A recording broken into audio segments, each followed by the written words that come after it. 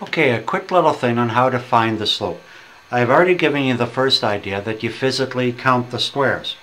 Okay, so if I have a line there, I find any two points on the line, I put in my triangle, and I count that there is one, two, three, four down this way, one, two, three, four, five, six that way.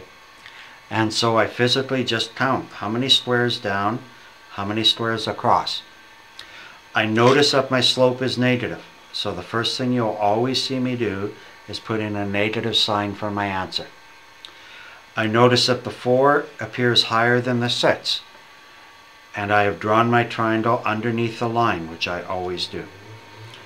Therefore, the 4 will appear above the 6 on my fraction. Okay? So that is absolutely consistent. And then finally, you go through and you simplify your fraction. 2 into the top, 2 into the bottom, and there is the slope of the line, negative 2 thirds. Now the second one is to use a formula.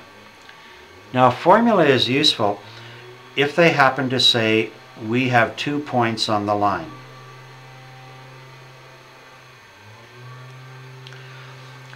Let us say that we are trying to find the, the slope of the line joining, joining those two points.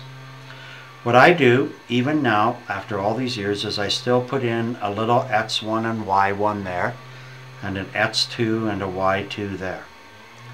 You too can do that to help you get higher marks. It doesn't matter which one you call point 1 and which one you call point 2. It just doesn't matter. And this means the x coordinate of point 1 and the y coordinate of point 1. x coordinate of point 2 and the y coordinate of point 2. Now to work with the equation, it says subtract your two y coordinates and put that over top of your two x coordinates subtracted. So every slope question I start out the same way.